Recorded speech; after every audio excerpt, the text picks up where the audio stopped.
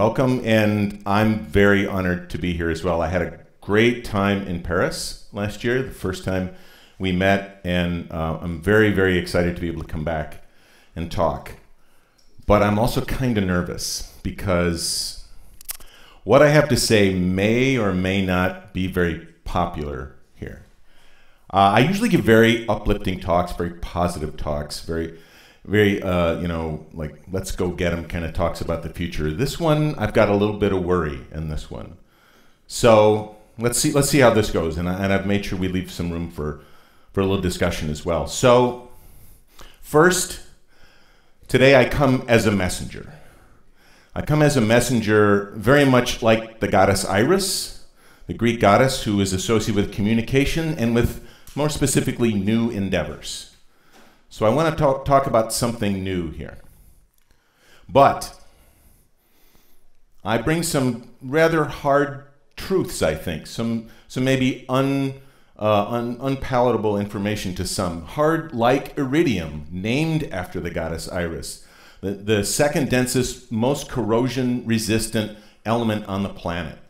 One that's found very often, I find, I, I find really curious, is found very often in impact craters because it, because it comes from meteors. And in a poetic uh, turnaround, we use it very often in deep space satellites because of its strength at, at high heats it actually works really well for holding the, uh, the sort of the nuclear power centers for these deep space probes. So we're actually sending we're sending iridium back out back out into space, which I find really really cool.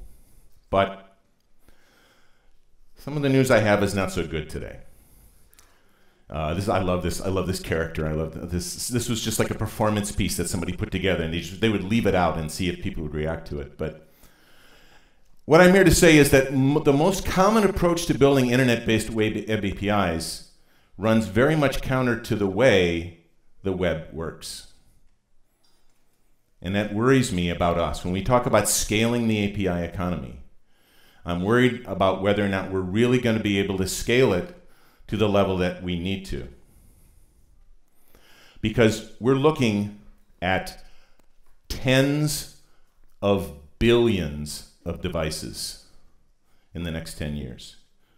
There's going to be a, a, huge explosion. We already heard, we heard Adam talk about this idea of sort of the human API, the, the, the devices that we're going to use on our bodies. It's not just Google Glass and it's not just Fitbit, but things to read our heart and, and things to read our blood pressure and our, and our, uh, all sorts of other information inside our bodies, as well as things around us. Every light sensor, every motion sensor, every heat detector, every video camera, everything monitoring pipelines for oil systems, automobiles, all sorts of utility systems, all sorts of factory processes, all sorts of people moving everywhere. There are going to be billions upon billions of these devices. And I'm, I'm pretty sure the way we're thinking about building APIs today is going to be very difficult to handle these tens of billions of devices.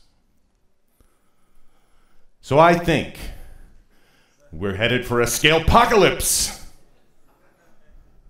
I love this. I love this cover. Is some great headlines. If you just look at these headlines, you know, the Mayan secrets revealed, and then epic fail. You know, it's, it's very cool stuff. Okay, but I'm getting a little ahead of myself. I'm going to back up a little bit. I'm going to talk about another scale apocalypse that we avoided. It was a big one. It was one that fundamentally changed the way the web works. If we hadn't solved this problem, we wouldn't be here today. And it came from a relatively unlikely source, I think. So I'm going to go all the way back to 1973. Does Anybody recognize this picture, by the way? In 1973, I was actually starting my first year of college at Michigan State University. Um, however, I was starting as a music major not a computer, uh, not a computer major. I was working in music theory and composition. Little did I know, in my first year at Michigan State University, in that same city, across the town, there was a baby born. Larry Page. Anybody know Larry Page, right? We recognize Larry Page's name, right? So here we are, 1973. Two paths cross. One of them is going to be an incredibly influential person in all of our lives. Another one's going to be a billionaire.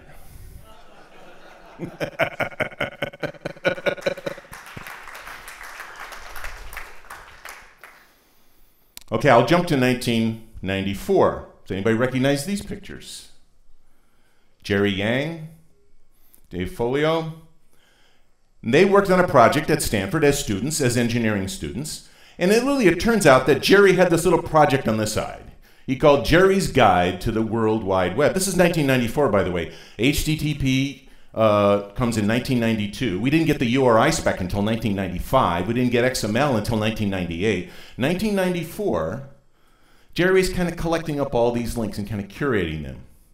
He and Dave eventually develop a site that becomes rather popular rather fast.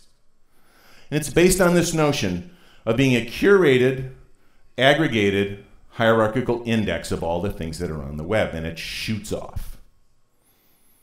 But it immediately starts to run into problems. We all know what those problems are. Any of us who remember this period remember that it was difficult to find things and it was not kept up to date. And this is our problem. Also, at the same time, in the 90s, we don't really think about this, but in the early 90s, there were lots of competitors to the HTTP specification, right? We had all sorts of indexing servers. We had Archie and Gopher and WAIS and Veronica and all these cool names, all these other ways that we were indexing information. So lots of people were competing for this space. Now, HTTP was doing very well because it had a very low bar of entry. It was open. We talked about open earlier. Adam was talking about open. It was basically given away, right? CERN just gave it away.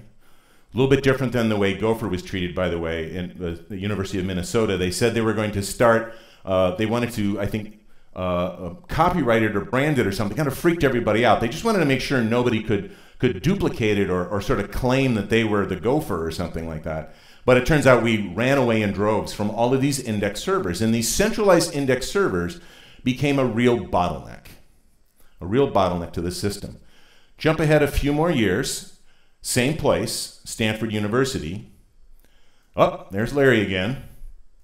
Larry and his pal Sergey write a paper called The Anatomy of Large Scale Hypertextual Web Search Engine, 1998. And in it, just a tiny, tiny little bit, Due to rapid advance in web proliferation, creating a search engine today is very different from three years ago. Who do you think they were talking about?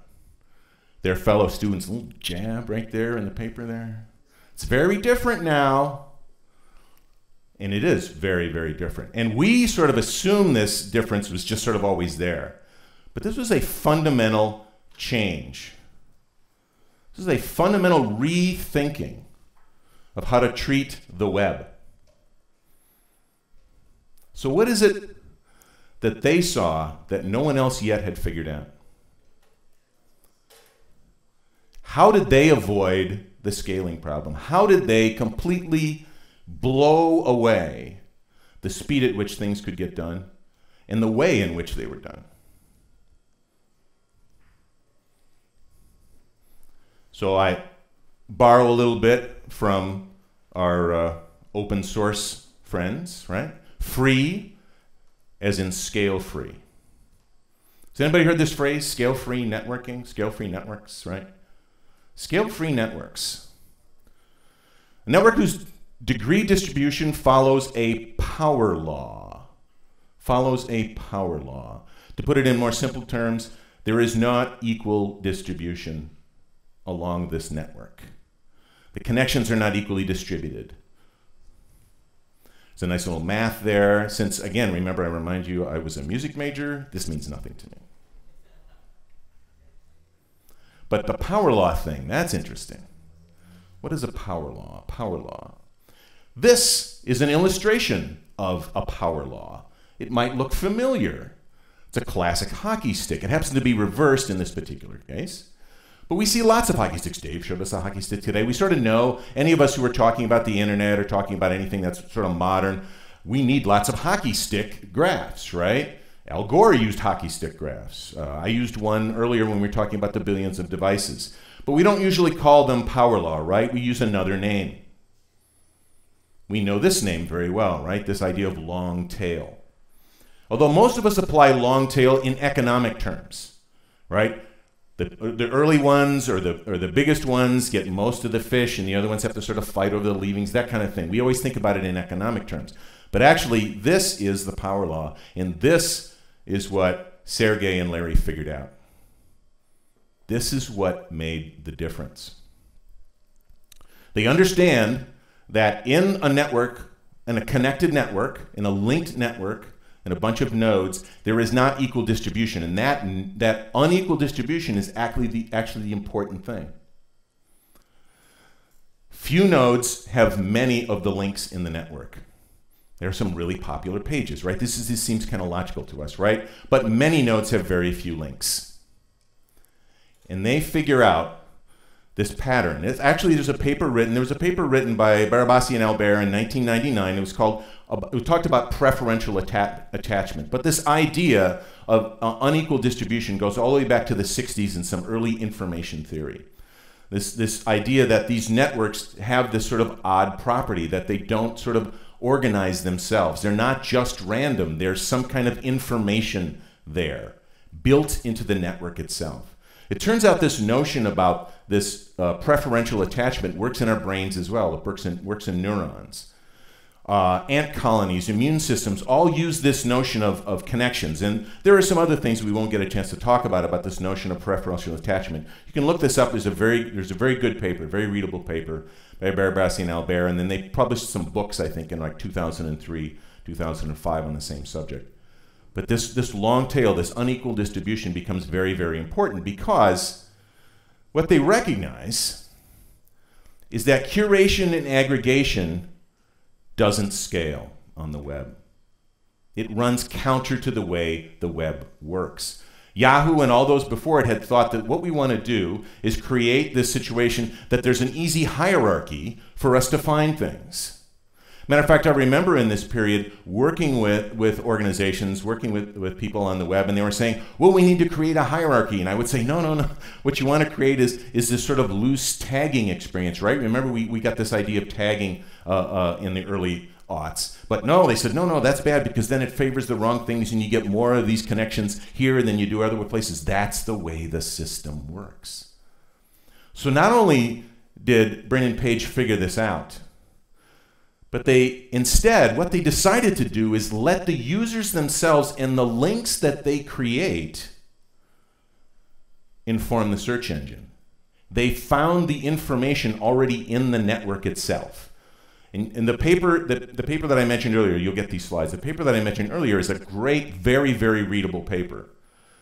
So what's so cool about what these two did is not only did they write this paper and not only did they notice this, but they actually built the first engine and they called it the Googler, right? They built that first engine right away and proved that this was true and proved that they could get so much more information with so much less effort by letting the users inform them, by noticing what was in the network, the information in the network itself.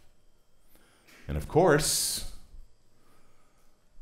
it made them lots and lots of money. Right? Because they figured they could advertise on the pages that have lots of links and they could lead people to those pages. So it, not only did they gain the leading role in search, not only did they blow away Yahoo and AltaVista and all these other places, but they actually built a multi billion dollar company by recognizing this property of the web. So that was what, 10 years ago? 12 years ago? But we experience, and I've seen more of this recently, both on a small scale and a large scale, a lot of what I call hub vulnerability on the web. Unexpected disasters in complex systems cause them to fail rather dramatically. Right? We know this butterfly effect, this idea that a, a small change can, can result in a very large difference somewhere along the way. It's sort of like the reverse of that. Just a small break somewhere. Somebody misconfiguring a DNS, boom, the backbone's in trouble. Somebody uh, screwing up a power center that, that doesn't feed back correctly, and the whole northeast coast of the United States goes down. Complex systems can be affected by very small changes. We had a series of DNS failures in the early aughts before we sort of figured out how to stabilize that network. Even though we have multiple you know, services on the backbone, it was actually pretty easy for somebody to screw something up. And we went through this period where we had these vulnerabilities. We all recognize the AWS problems. Like so many of us now depend on this one service, on this one network of services that if something bad goes goes bad if something goes bad somewhere, a lot of people can be down for quite a bit. And it happens for Amazon, happens with Google, happens with Microsoft's Azure systems. We're building these in and they're getting worse. And of course, we all remember the big one, right? When our entire financial system did the same thing because we built all sorts of vulnerabilities into that complex system as well. And that generated the phrase that we all recognize now too big to fail. One of the concerns I have that I'm telling you today is I'm concerned that we're also creating some too big to fails in our business as well. And I think it's worrisome. And I don't think it's necessary. Because one of the features of this complex system, one of the features of power law based systems is not just hub vulnerability, but node resiliency. Losing a node or two doesn't hurt that much. Highly distributed systems reduce the risk of system wide failures when they depend on nodes for the most part. Now, power law solved the search problem, got us past a key scaling problem beyond risk, and created lots and lots of millionaires. So I want to believe that the power law can help us too. So think about the difference between these two services. When the internet goes down, which one provides you your files, even though the internet's down? Which one is based on node resiliency and which one relies on a, a vulnerable hub?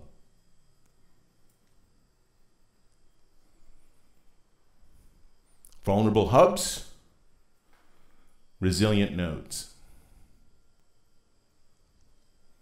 Vulnerable hubs, multiple resilient nodes.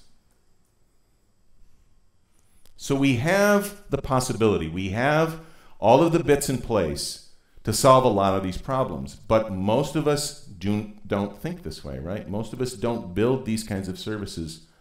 We build another kind of service. We create a hub.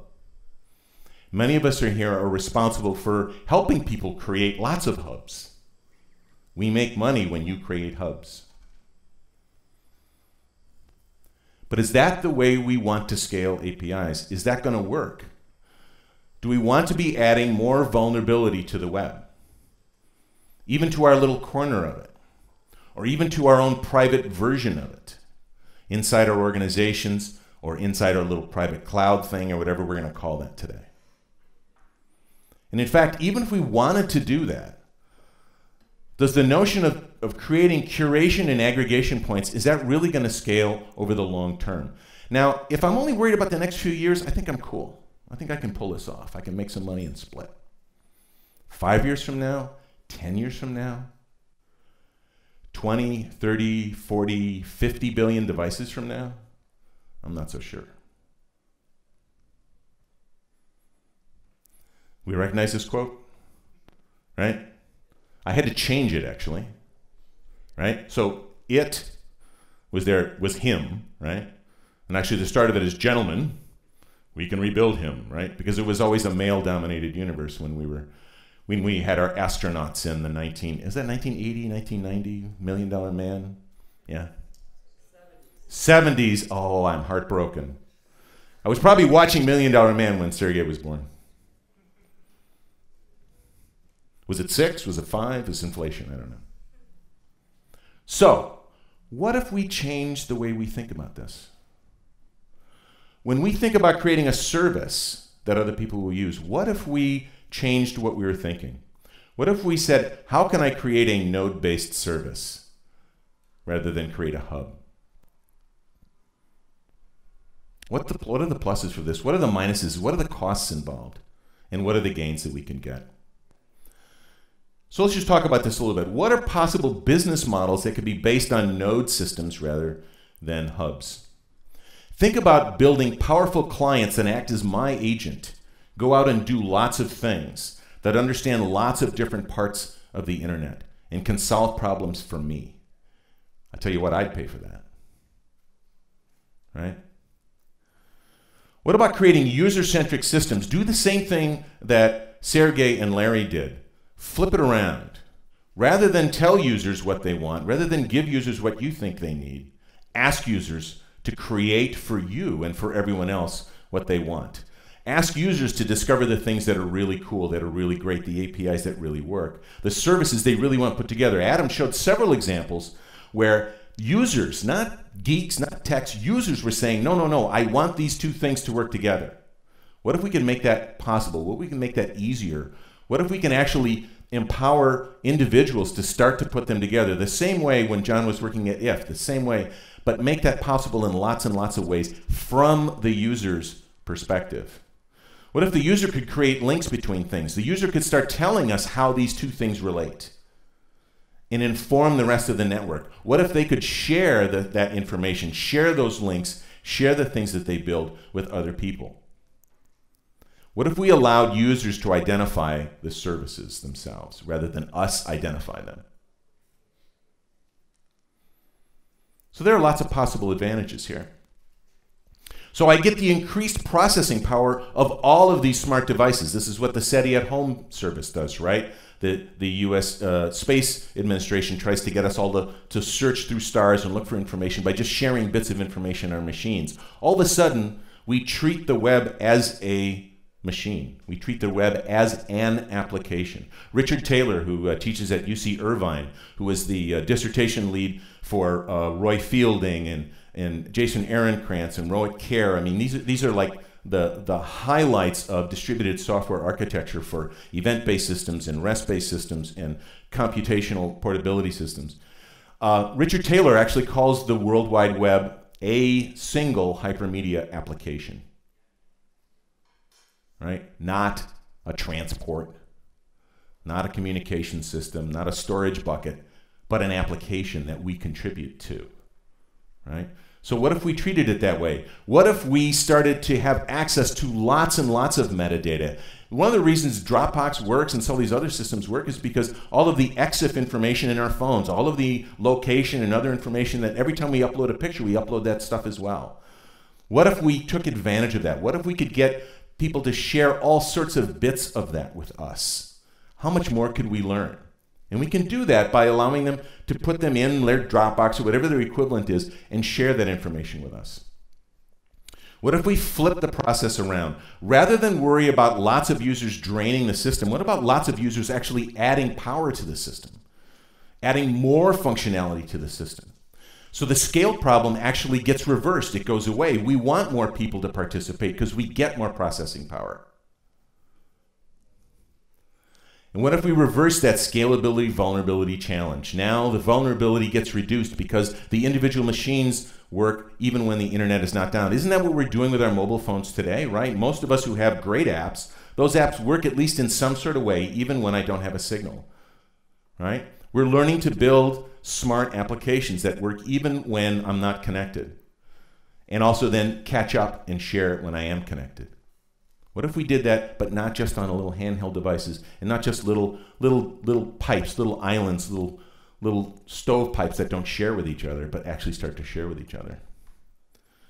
We'll increase network intelligence. The overall network will start to get smarter. We'll have more information in it, the same way that Larry and Sergey found out. The information is in the network itself, and we can find it. There's a whole bunch of stuff in that, in that paper about dealing with the added information that hypertext linking provides. That was the other thing that they did really well in that search engine, right? We won't have a chance to talk about it today.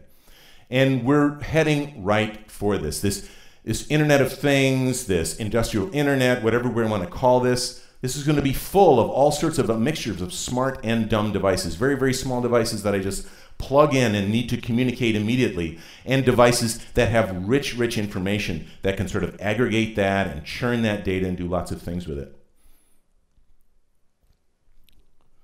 But can we make money at this, right? This seems pretty weird. This seems pretty odd. We recognize a few of these, right? IBM was happy to let Microsoft own the operating system. They knew hardware was where you were going to get the profits. Yahoo knew curated indexes was what re people really wanted. You're never going to make money in open source. So I think it's important for us not to forget there may be great opportunities here. The power law may apply in more to more than just search. So my call to action to you is be a node, not a hub. Think of yourself as a node. As we put more and more things on our body, as I carry more and more GPS devices around, I'm a node. As I drive in my car, I'm a node. My house is a node. We're all nodes. Think about each one of these services. Wouldn't it be possible to implement them as node based? Sure, it would. Sure, it would. I would post information onto my own machine, onto my own handheld device or some other device, and I would decide how those devices communicate, just like I do. Dropbox does this today. I can create as many nodes in my little world as I want to.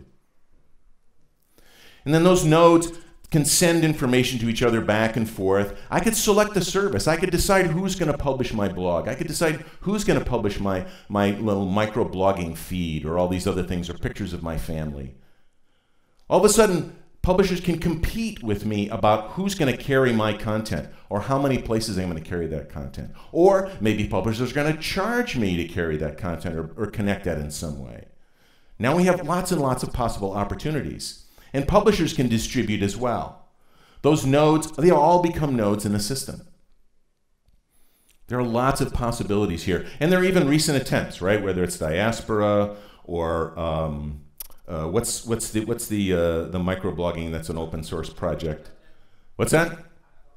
App.net. There's a bunch of things, right? There's, there's a bunch of attempts at this. But so much of what we're doing right now is still based on this idea of a central processor, right? Sort of, we're, we're trying to create one computer, right? Where there's one CPU and one set of storage and all these other things. But we don't need to do it that way. We can avoid things. So API providers, I'm, I'm telling you now to consider the hub vulnerability problem when you create your system. Am I creating more vulnerability? What are those vulnerabilities going to be? You cannot get rid of them. You can mitigate them, but they'll always be there. Explore the advantage of a node-based system, not just uh, uh, technically, but also financially. What happens when I empower people?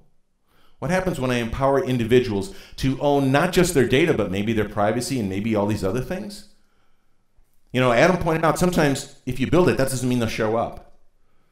But maybe we ought to try it. Maybe we ought to try building a few. Empower users and you may reap the rewards. Same thing for consumers. If you're a consumer of an API, think about it. Is there a node based provider that gives you the service you want? Think about using them. Think about the possibilities. Think about what that's going to do to change the way you write clients. Build your clients as aggregators. Build your clients to take on all sorts of information. Yes, we've got some technical details on how we can make that easy, how we can make that possible, but it's not impossible. And in fact, we may also get lots and lots of benefit from this idea of flipping this and changing the way we think about it. All right. So it turns out maybe my message is a positive one if we think about this. We have lots of opportunity for some new endeavors. We're standing at just the beginning. The internet is like 20, what, 20, 25 years old, something like that. It's cheap. It's nothing. We barely started. We can build strong, vulnerability resilient systems that work really, really well. There is another way to build systems that take advantage of the way the web works, doesn't run counter to it. We don't have to build hierarchies. We don't have to build aggregators. We don't have to be the one that everyone talks to in order to get the same thing done. We can actually use power law to our advantage. We can probably even profit from it.